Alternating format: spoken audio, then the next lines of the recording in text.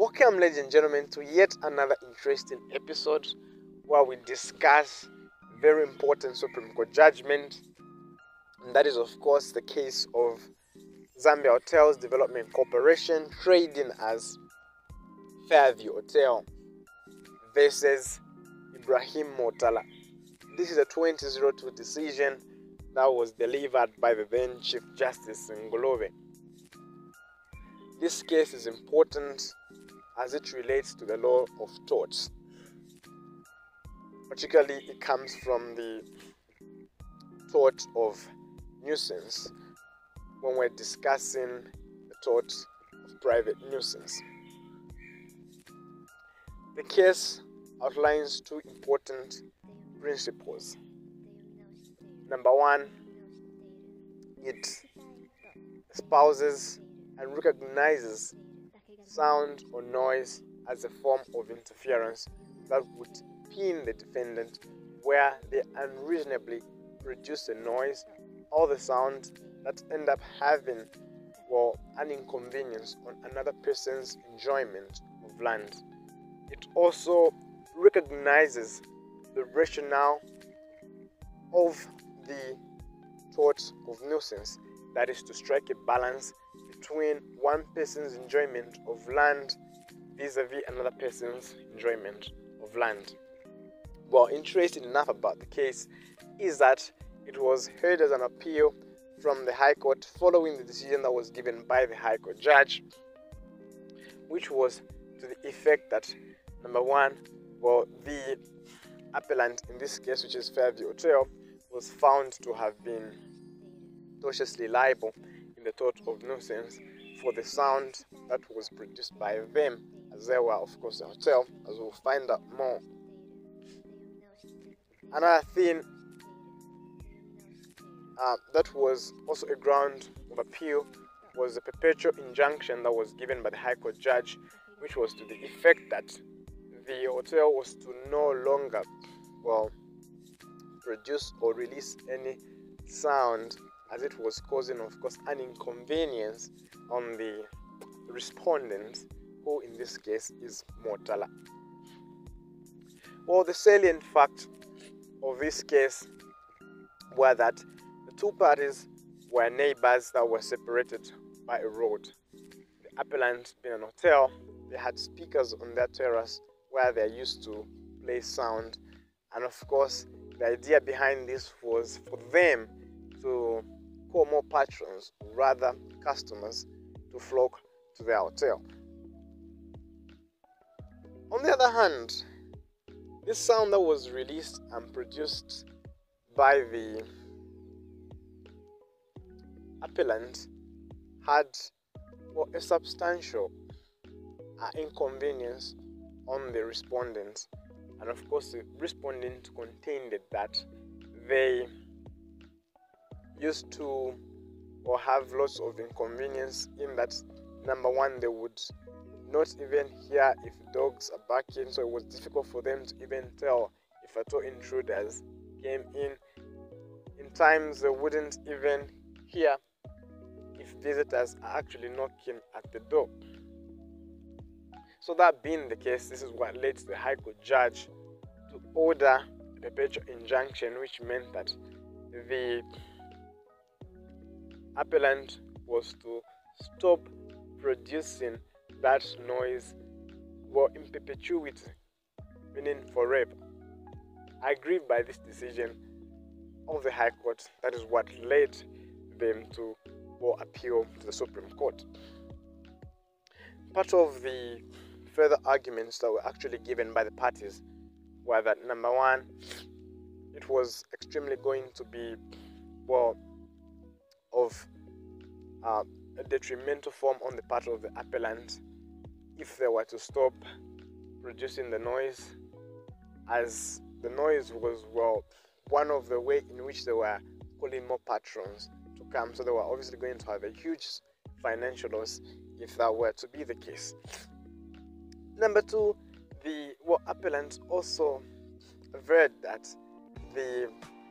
respondents never really had a viable cause of action, and this was to the effect that they were just overly sensitive. And this was after the appellant had employed an, a noise expert who had concluded and submitted that well a sound that would unreasonably be intolerable would be one well reasonably be intolerable would be one that is at least exceeding 120 on the other hand the respondent had also well interesting enough uh, employed an expert witness also who well had reached at a different conclusion holding that sound that is reasonable would be one that is within the range of 81 decibels to 88 decibels. Wow. That being the fact, the Supreme Court was left with two issues that they needed to, of course, discuss and say. Number one was to whether or not to confirm the decision that was given by the High Court, which was to the effect that the, the, the appellant were tortiously liable in the tort of nuisance, and the second one was to find whether or not the the perpetual injunction that was given was was was sound or it had sound legal backing. Well, to cut the story short, the Supreme Court found that the sound or the noise that was released by the appellant was not just too much but had an inconvenience on the substantial inconvenience on the well respondent and that being the case they were tortiously liable. Now the supreme court needed to also create a balance in trying to find whether or not the perpetual injunction was really sound. That is within the legal means. So trying to strike that balance the supreme court took recourse from or an excerpt that was gotten from book uh, the book of the law of torts that is written by Clark. So part of the principles that the Supreme Court had employed, number one, was to look at the principle of give and take, meaning it is not each and every single a claim,